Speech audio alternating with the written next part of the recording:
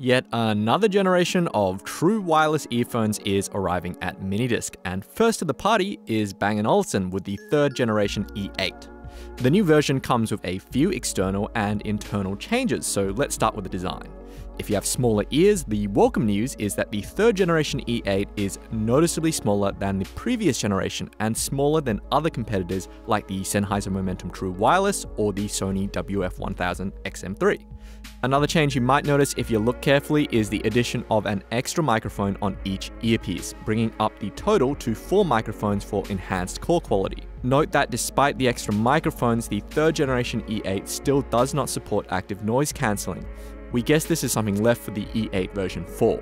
Now, as far as internal updates to the E8 go, this is the first product in the store with Bluetooth version 5.1, which promises faster Bluetooth handshaking when pairing with compatible devices. Battery life has been extended to a very usable 7 hours from the earpieces and another 28 hours of charge from the case. Now, just like the version 2, version 3 of the E8 supports wireless charging via the charging case, and Bang & Olufsen have made their very own fancy charging pad available if you want to be matchy-matchy, but any Qi wireless charging pad should be compatible.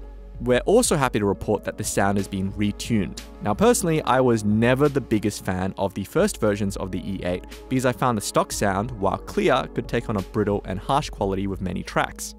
This has been cleaned up with the version 3 along with an increase in the weight and density of the lower bass notes.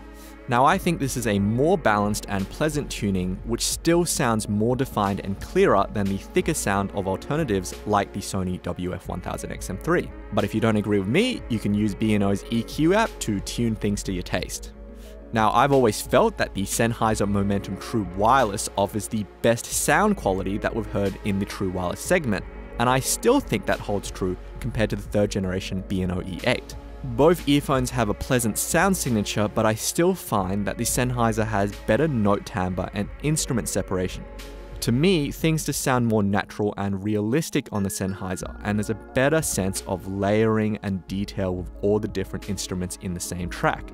In comparison, the E8 has a slightly flatter, more artificial sound that compresses things together, a congested quality it shares with the Sony. Please note that we do our testing with both AAC and aptX devices.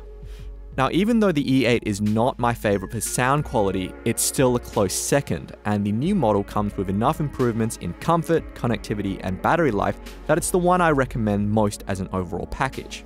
Of course, you'll have to check back in with us when the next generation Sennheiser Momentum arrives. Until then, this is Lachlan for Minidisc TV, and we'll see you next time.